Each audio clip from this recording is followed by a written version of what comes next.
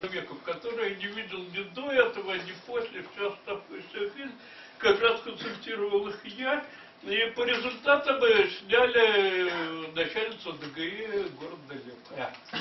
По результатам визита. Так, ну вот и теперь мы уже в этом же году перебираемся ближе к центру. Сказали на брифинге, все помнят этот адрес, такой маленький домик. Теперь мы перебираемся в центр, подвал Надзирного 102. Вот в таком виде он выглядел изначально. Вы видите, здесь стоит Леня Райхман, Люба Пшенникова, Илка Лузиш и Ася Андреева. И вот из этого подвала э, мы своими руками, можно сказать, и своим трудом преобразовали вот какое-то такое цивилизованное помещение, которое многие из вас знают, были, видели, но выглядел он так. Спасибо, Таша. Зачем? Вот. Здесь субботники, потому что в этот подвальчик часто заливался водой, и, и там были такие наводнения, и чтобы как-то их избежать, мы все принимали участие в таком субботнике и засыпали каналы. Ну вот здесь вы видите всех членов, почти всех членов нашего комитета, только вот э, несколько лет. Заработали.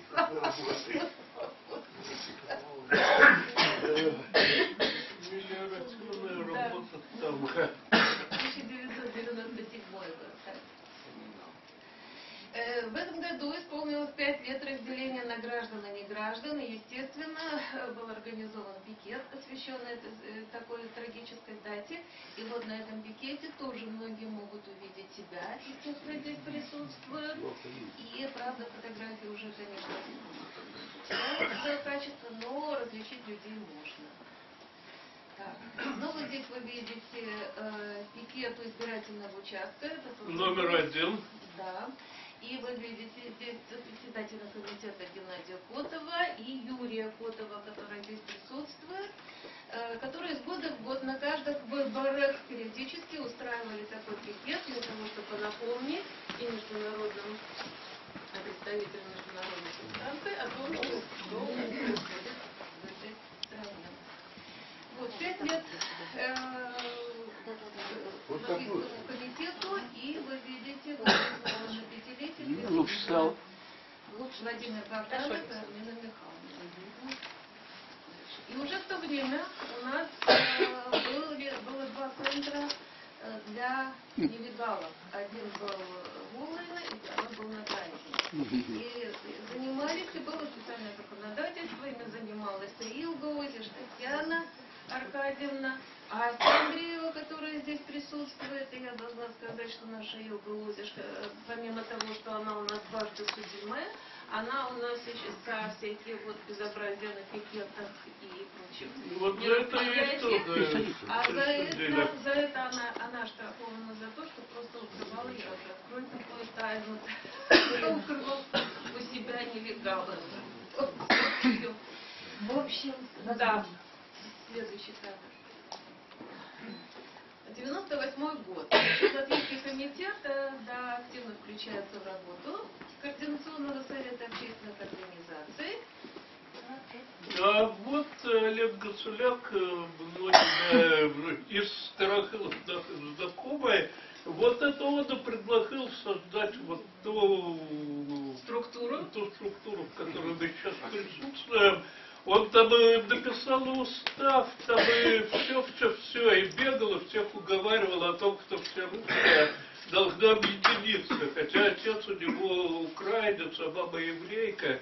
Но зато он э, носил все боевые ордена своего отца к памятнику как до 9 мая, да и сейчас носят. Вот так э, как бы до сих пор существует еще одна хорошая структура. Да, и в этом году э, активно стали заниматься контактами на международном уровне. Э, Значит, э, представитель э, КПЧ выступает на сессии э, или на рабочей группе по национальным меньшинствам Комитета по правам человека ООН.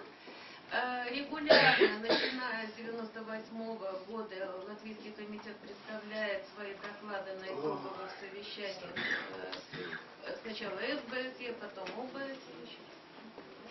Э, совещание по человеческому измерению в Варшаве, где присутствуют э, представители государств и представители неправительственных организаций.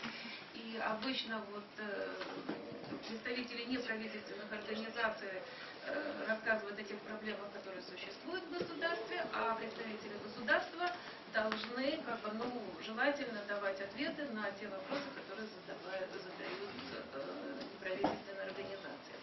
И э, на протяжении многих лет все члены, многие члены комитета ездили, представляли там доклады о ситуации в Латвии. Вот, Леонид Райкман и Алексей Димитров, а, они а, наиболее активно занимались э, налаживанием контакта с международными структурами. Но здесь вот у нас уже такая фотография, это уже дело Райкмана и э, да. И оба сопредседателя нашей организации в прошлом мы как бы теперь э, заменяем, как умеем.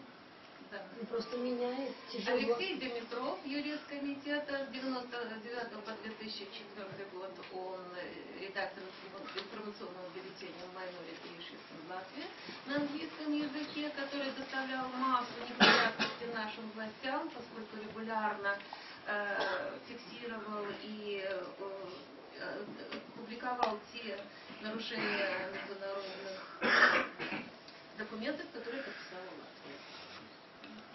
И кроме того, он готовит альтернативные доклады, в частности по рамочной конвенции о защите прав национальных меньшинств. Сейчас Алексей Димитров работает э, у нас в Брюсселе и тоже ну, является членом.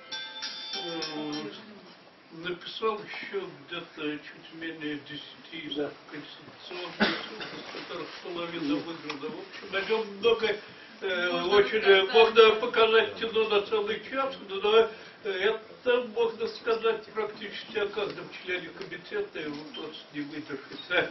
Да, у нас нет столько времени. Это 98 год конференция United, э, объединение для борьбы с ксенофобией, Это вы? расизмом и дискриминацией. Это, это я, да. Не Значит, и, естественно, после контакта с этой организацией в преддверии 9 ноября э, я и Алексей Димитров мы провели лекции в школах Риги о Холокосте и э, еще некоторые мероприятия, связанные с этим печальным событием. 99 год, закон о языке. И вот э, опять Латвийский комитет активно включается в работу.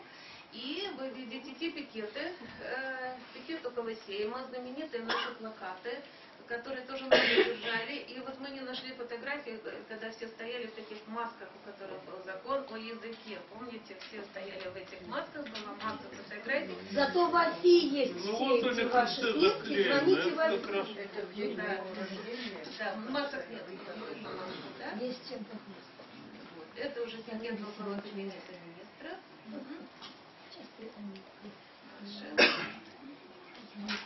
И, наконец, э, после замечательного митинга, который был около памятника, да, да, э, все пошли э, на трехсуточное сидение около президентского дворца.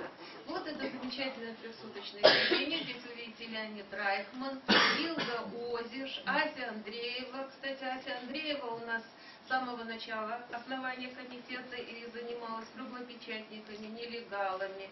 И все нелегалы как-то вот э, аккумулируются вокруг К Аси счастью, это июль месяц. И три Да. дня не было дождя. Ну вот, и вот, значит, наконец, на третьи сутки все уже ждут в ожидании этого решения. Следующий. Вот. И вот президент вернул закон на повторное рассмотрение. Э, Вы видите ликование. Все-таки этот пикет завершился победой. И мы переходим дальше. Ну, уже 2000 год. Что же происходит в 2000 году? В 2000 год визит президента Еврокомиссии Романа Проди вынес санкционированный пикет, и мы передаем требования о нас меньшинствах о языке. Фродо, крайне слева. еще молодой. Геннадий Фото, э, Олег Гацуля вручают ему требования комитета. В этом же году рассматриваются дискриминационные правила закона о языке. Дальше. И вы видите, мы, Латвийский комитет по правам человека провел двухнедельный пикет напротив кабинета министра. Все помнят эту замечательную бомбу замедленного, мину замедленного действия.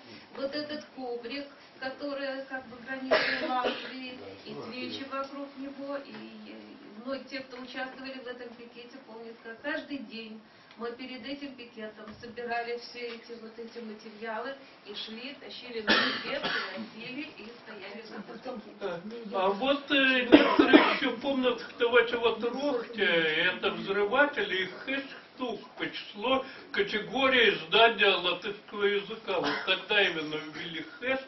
И автор этой идеи Геннадий Котов, тоже долгое время руководитель комитетом, он, по-моему, все эти мероприятия физически заявлял.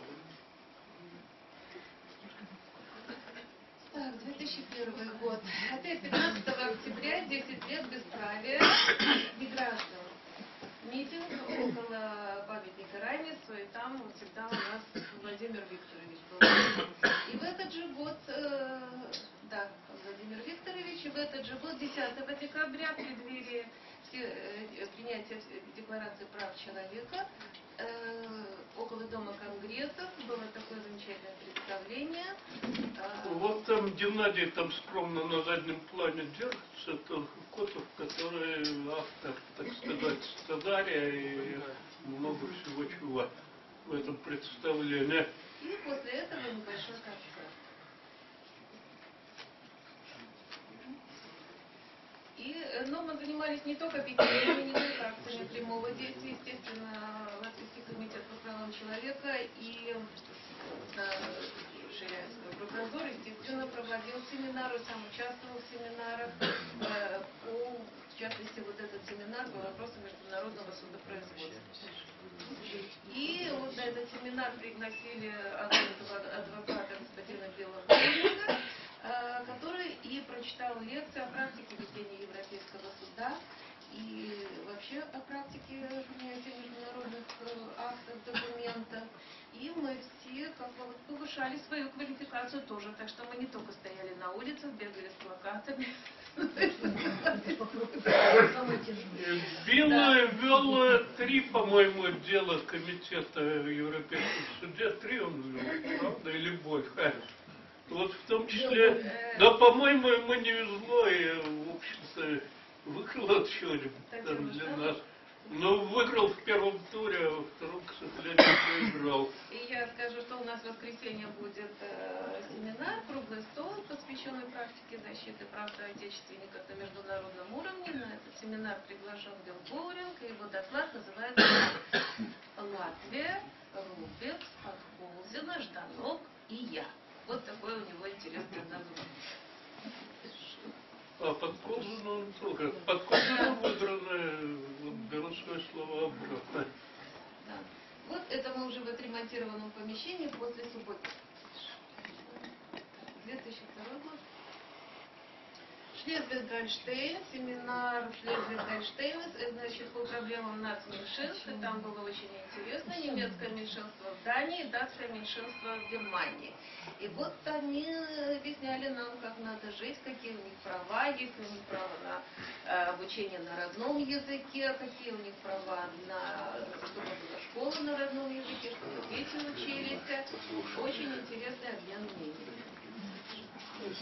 Я спросил у руководителя семинара, можете назвать самые яркие примеры коррупции в Дании? Он так засмущался красиво и сказал, да, был один в 1946 году, и мы все очень огорчились. да». Пять процентов, Так, 2003 год. Антивоенные выступления, в которых комитет тоже активно участвовал. Это один из пикетов против войны в Ираке. Следующий.